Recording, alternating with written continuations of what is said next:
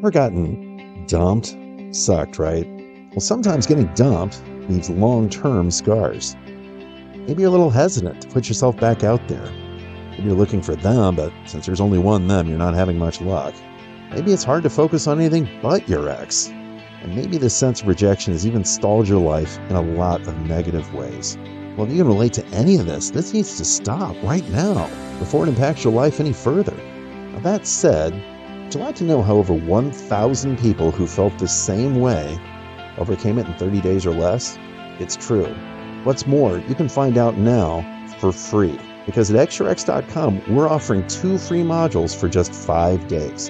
There's no charge at all, but you will learn how to put rejection behind you once and for all. Just click the link below. It's absolutely free. You have nothing to lose.